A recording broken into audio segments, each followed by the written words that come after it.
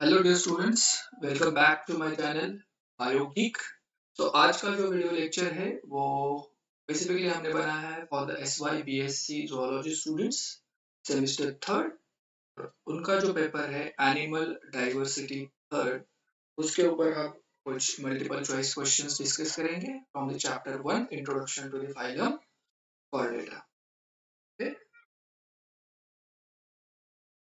So, the first question is the evolutionary history of a group of organisms. तो evolutionary history जो होती है group of organisms उसे हम क्या कहते हैं okay?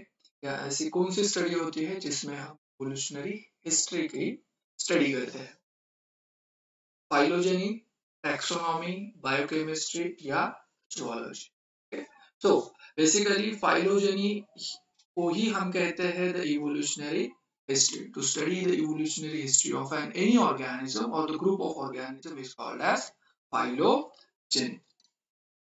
The next question is the concept of dash is used to place the animal group in a proper evolutionary sequences. Again आप यहाँ पे देख सकते हो कि evolutionary point of view से अगर हम study कर रहे हैं evolutionary sequence हम दे रहे हैं okay so definitely हम उसे क्या कहेंगे phylogeny the concept of phylogeny is used to place animal groups in a proper evolutionary sequence. Then the third question is the two main subdivision. Okay? Two main subdivisions of Bilateria are Protostomia and Deuterostomia. Whether this statement is true or the false. Okay, so basically बाइलेटरिया के ही दो sub division है protostomia and deuterostomia so this statement is true okay? So, the division is protostomia and deuterostomia. Question number fourth की हम बात करें the sub division of bilateria वही same question है but देखिए डिफरेंस क्या है? The subdivision of bilateria okay are based on the differences in dash and dash. जो दो सब डिविजन्स बनी हुई है बायोलेटेरिया के प्रोटोस्टोमिया एंड ड्यूटेरोस्टोमिया वो किस बेसिस पे बनी हुई ओके सो तो वो एम्ब्रॉयनिक एंड लार्वल डेवलपमेंट पे बनी है या अडल्ट एंड लार्वल डेवलपमेंट पे, या बोथ ए एंड बी और the above okay so the answer of this question is These are based on the differences in embryonic and larval development. ये उनके embryonic और लार्वल डेवलपमेंट में जो कुछ भी डिफरेंसेस हमें देखने को मिलते हैं, उसके बेस्ड पे बायलैट ये दो सब डिविजन जो है प्रोटोस्टोमिया एंड वो बेस्ड है नेक्स्ट क्वेश्चन अगर हम देखें तो with respect to the deuterostomes या ऐसे ही हम ड्यूटेरोस्टोम्स बोलते हैं line of chordate evolution dash dash dash and dash phyla shows closer evolutionary relationship okay? Deuterostomes की अगर डिटेरोस्टोम्स लाइन ऑफ़ कॉर्डेट्स की अगर हम बात करें ओके okay, तो उनमें कौन से तीन फाइलम्स जो है वो बहुत ही क्लोजर इवोल्यूशनरी रिलेशनशिप शोज़ करते हैं। Okay okay? या तो वो इकानोडर्मेटा हेमिकॉर्डेटा या कॉर्डेट्स है या हेमिकॉर्डेट्स कॉर्डेट्स एंड सिलेंट्रेट्स है या एनिलीडा इकानोडर्मेटा एंड वर्टिब्रेटा या इनमें से कोई भी नहीं। ओके? तो अब हमने रेगुलर क्लासेस में पढ़ा है कि deuterostomes line of chordate evolution में हम closely relationship echinodermata hemichordata and chordates में देखें ओके? तो ये जो तीन फाइलम्स हैं gynoderms hemichordates and chordates they shows a closer evolutionary relationship okay so इसका answer First A. The next question है which of the following is the class of jawless fish? Okay, jawless fish मतलब जिनमें jaw नहीं है okay? jawless fishes or the jawless or okay? या तो वो कॉन्ट्रेक्टाइज हो सकता है कॉर्डेट्स ऑस्टिक्टाइज या अग्नता अब ये तो कॉन्ट्रेक्टाइज हमें पता है पाइसिस का सुपर क्लास पाइसिस का एक क्लास है इसे हम कार्टिलिजिनस फिशेस कहते हैं। कार्टिलिजिनस फिशेस इनमें तो जो होता है ओके कॉर्डेट्स की अगर हम बात करें तो उसमें ये क्लासेस आएँगे pisces amphibians reptiles else mammals तो इनमें जॉ है ऑस्टिक्टाइल्स जिसे हम बोनी फ़िश बोलते हैं बोनी फिशेस ओके वो भी पाइसेस में आएँगे तो उनमें भी हमें जॉ देखने को मिलता है। बट ये जो अग्न्याता है, अग्न्याता, इसे ही हम क्या कहते हैं? जॉ एस और अग्न्याता। ये जो ग्रुप अग्न्याता है, उसमें सिर्फ़ एक क्लास आता है हमने ये भी पता, पढ़ा हुआ है साइक्लोस्टोमेटा क्या आता है? साइक्लोस्टोमेटा ओके जिनमें हमें सर्कुलर माउथ देखने को the organisms which having the circular mouth तो इनमें जॉ नहीं होता they are the jawless fishes okay हमने दो एग्जांपल्स इसमें देख लिए थे लैम्प्रे हैगफिश ओके जिसे हमने कहा था मिक्सिन एंड पेट्रोमाइसिन तो ये जो है ये जॉलेस फ़िश है ओके इल लाइक दिखते इल लाइक ओके सो अग्न्याता इसका जो आंसर है वो अग्न्याता okay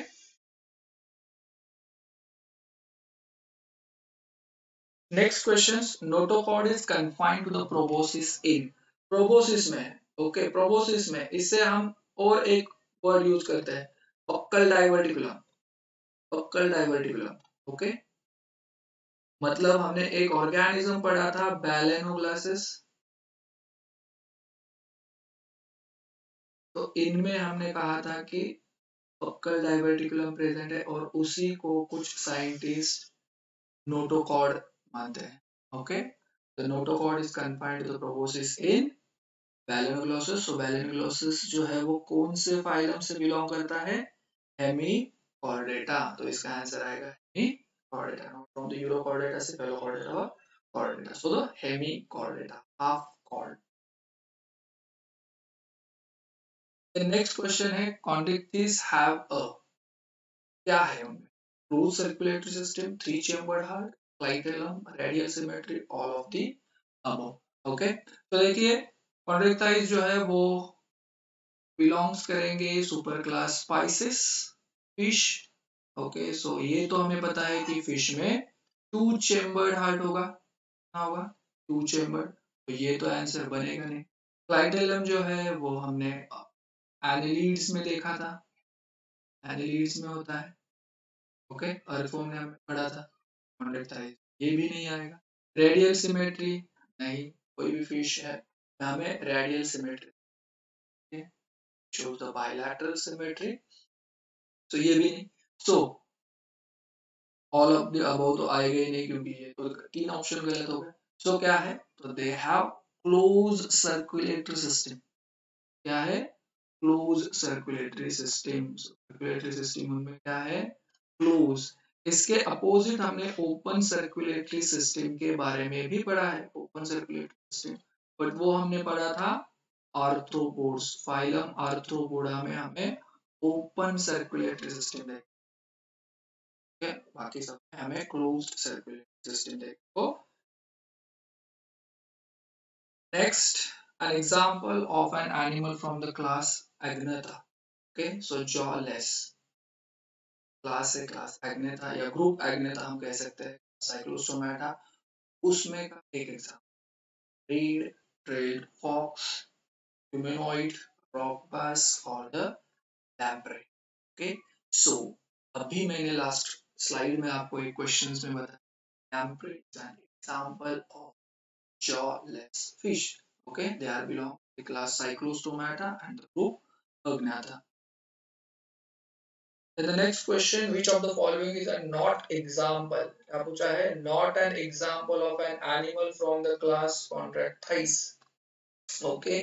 Cartilaginous fishes में दिया गया हुआ ऑप्शन में से कौन सा एग्ज़ाम्पल नहीं? कौन सा ऑर्गेनिज्म बिलोंग्स नहीं होता कार्टिलिजिनस हमें पता है rays stingrays skates shark okay ये जो है यही कार्टिलिजिनस फिशेस है। सी अर्चिन देखिए option number sea urchin it's belongs to the phylum echinodermata echinodermata से बिलोंग करेगा ये Okay, the sea urchin is not an example of animal. Bas The next question, which class would a frog belong to? Frogenia, amphibians, Agnatha, Animalia. Okay so progenia ऐसा कोई भी class नहीं है the class amphibia okay so the frogs जो होते हैं they are belong class amphibia okay then the next question see there is some characteristic features उसके basis पे आपको पहचानना है कि कौन सा क्लास है ऑर्गेनिज्म का. They have the dry scaly skin okay they are ectothermic They have the two pairs of legs, have the lungs, shows the internal fertilization, leathery eggs with the amniotic shell, and a 3.5 chambered heart are all the properties or the characters of which class okay so पहला जो class है osteophytes हमें पता है उनमें 3.5 chambered heart का तो कोई सवाल ही नहीं आता okay because they are Pisces fish they have the two chamber heart Agnata, same they have the two chamber heart dry skin नहीं होती है okay moist skin होती है they are ectothermic okay and Agnata, cyclostomata उनमें two pairs of legs तो नहीं होते they have the gills for the respiration or the lungs then amphibians की अगर हम बात करें उसको कंपेयर करें तो amphibians में भी हमें moist skin देखने को मिलती है dry skin देखने को नहीं मिलती वो ectothermic है they have the two pairs of legs okay four limbs and hind limbs lungs की अगर हम बात करें lungs की अगर हम बात करें they have the lungs the adult form but gills in the tadpole stages okay उनके इनिशियल स्टेजेस में किल्स होते हैं। इंटरनल फर्टिलाइजेशन नहीं frog shows amphibian shows external fertilisation and amphibians have a complete chamber what are three five और the incomplete four chamber okay तो ऊपर के सारे के सारे कैरेक्टर जो है वो मैच करते हैं क्लास रेप्टिलिया से okay so they have the dry scaly skin dry scaly skin they have the ectothermic they have the two pairs of legs they have the lungs for the respiration so the internal fertilization leathery eggs with amniotic shell and 3.5 chambered okay but इनमें भी exceptions है जैसे कि हम पता है crocodiles okay they have the complete four chambered बाकी के जो रेप्टाइल्स है, उनमें हमें इनकम्प्लीटली फोर चैम्बर या थ्री पॉइंट फाइव चैम्बर को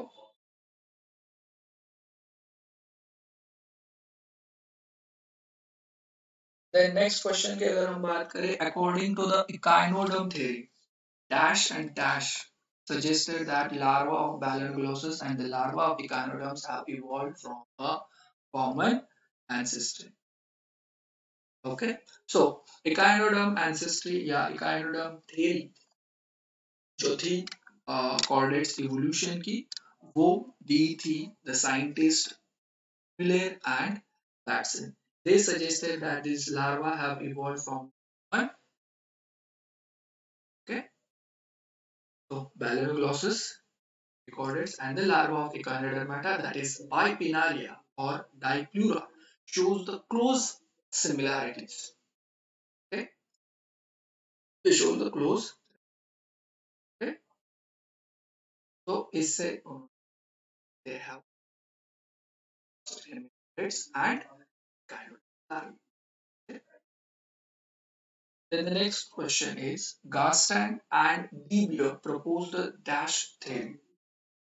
Garstand and Beer ने कौन सी theory propose की? Okay, तो उन्होंने propose की Neotenus larva. Okay, so both are proposed a theory which is called Neotenus larva theory. According to their view, the auricul auricularis larva of echinoderms become sexually mature and later these neotenic larva gives rise to the chordates. Okay? तो ये मानना था कि ऑरिकुलरियस larva जो है रिकार्ड वो sexually mature होगा and later become a new larva और वहीं से कॉर्डेट्स इवॉल्व हुए। ओके तो गास्टैंग एंटी गियर प्रोपोज न्यू लार्वा थे।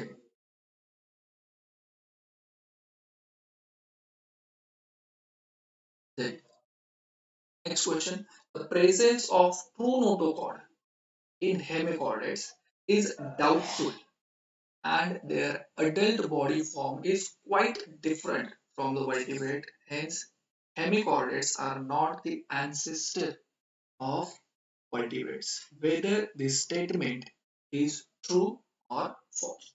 Okay, so ये questions जो है वो आता है hemichordate theory. Hemichordate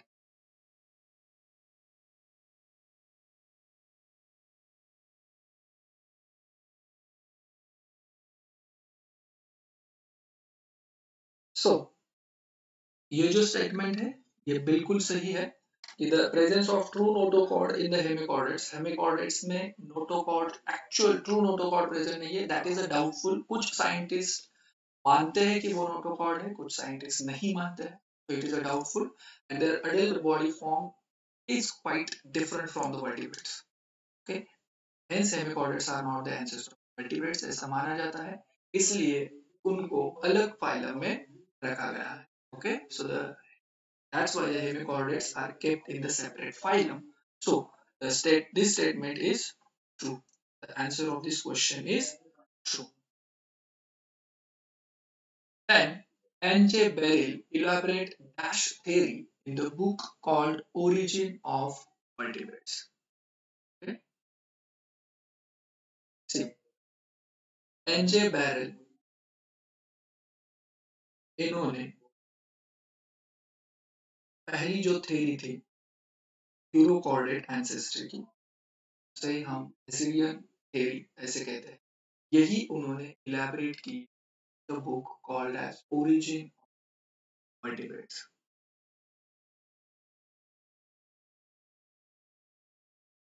okay, so, according to them, the adult tunicates say हम urochordate tunicates or ascidians exhibit the primitive sessile, marine and filter feeding condition according to them. Okay? So tunicates exhibit the primitive sessile, marine and filter feeding conditions of the ancestral chordates. Ancestral chord है okay? तो वो कुछ इस तरीके filter feeding, marine, sessile conditions exhibit करते Benjamin it the Assyrian theory or the Eurochordate ancestry in the book of In the next questions, the adult tunicates, जो अभी मैंने आपको बताया, the adult tunicates exhibit dash dash and the dash conditions of the ancestral chordates. जैसे अभी मैंने बताया कि sessile marine and filter feeder according to the NG barrel. NG barrel ने ये कहा था कि the adult tunicates exhibit the sessile marine and filter conditions the ancestral chordates. So इसका आंसर है A. Then the next question is the main drawback of Assyrian theory is Assyrian theory का main drawback क्या है? So they are sessile non-chordates are considered as an ancestor of chordates. So main drawback.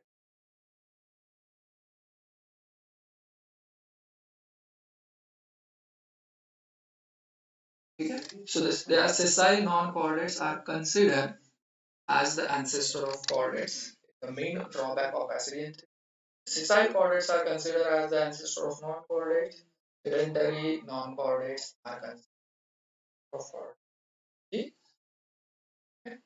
So sessile non sessile chordates are considered sessile non-chordates are considered as the ancestral of chordates. Is the main drawback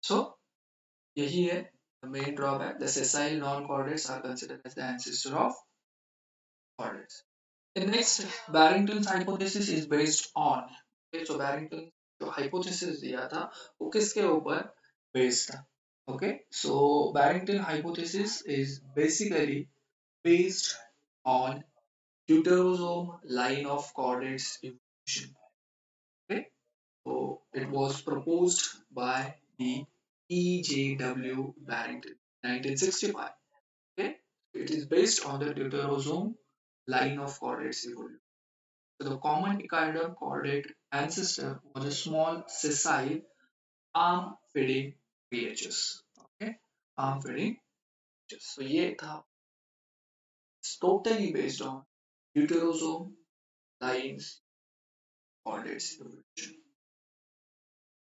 And the next question is dash is the living pterobranch chordates. Okay, so pterobranch chordates को ही basically हम क्या कहते हैं cephalo discus. So discus is the living and or it's a BB hay. Okay.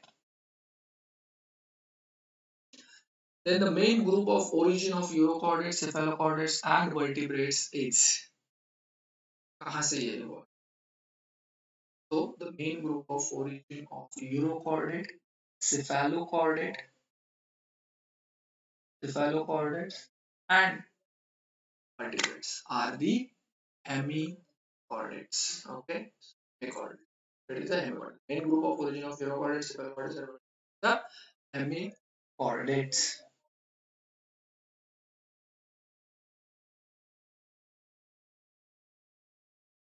Then the next question, echinoderm theory explain the origin of. क्या explain कर रही है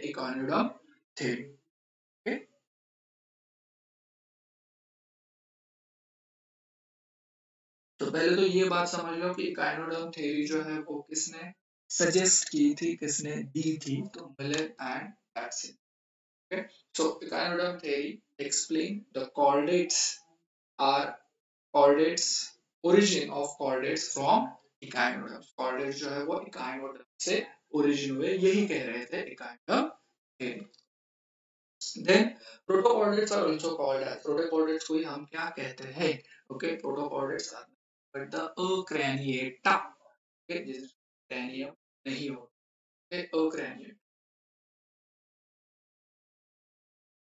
then uh, dorsal nerve cord notochord and pharyngeal gills okay देखिए क्या क्या characters है dorsal nerve cord nerve cord जो है वो dorsal side पे है notochord present है pharyngeal gill slits are the main fundamental characters of invertebrates या non chordates नहीं These are the fundamental characters of chordata. Okay, इसमें और एक characters add होता है that is the ventral. Okay, तो ये जो है these are the main or the fundamental of chordates. Okay, not invertebrates या not. This statement is false. Then the next question is cephalochordate ancestry and branchiostoma ancestry are one and same. Yes, cephalochordates में ही example हमें branchiostoma मिलता है. So cephalochordate ancestry को हो या आप branchiostoma ancestry को हो, the same thing. Okay, so this is a true statement. And the next dash and the dash suggested that caproid echinoderms might have evolved from the Tornoria-like creatures. Okay, ये किसने suggest किया था? Okay, ये किसने suggest किया? तो देखो थॉस्टिन्स and Gilson ये जो साइंटिस्ट थे इन्होंने सजेस्ट किया था कि कैप्रोइड echinoderms might have evolved from the Tornoria like creature क्योंकि उनका ये मानना था कि the primitive echinoderms जो थे were Cambrian and Ordovician carpoid echinoderms उससे ही उन्होंने कहा था कि कैम्ब्रियन एंड ओर्डोविशियन जो इरा से विरेज जो है इनके जो इकाइनोडम्स थे उन्हीं को हम कैप्रोइड इकाइनोडम्स कहते हैं ठीक है सो थॉस्टन एंड गिल्सन इन्होंने सजेस्ट किया था that the carpoid echinoderms might have evolved from the tornaria like creature which leads a sedentary life फिर बाद में वो क्या हो गए which leads to the sedentary life okay and the water vascular system might have evolved from the ciliated grooves of the Tornaria like creatures और जो water vascular system जो हमें देखने को हैं ganoderms में ओके वो भी इवॉल्व हुई है टॉर्नो tornaria like creatures okay so इसका आंसर जो है वो है Thorston and Gilson okay so यहीं पे हम रुकते हैं ओके तो maybe uh, 20 25 questions which related to the chapter number one. Okay introduction to the phylum chordata okay so please like share and subscribe my channels. More videos. Okay thank you thank you. Very much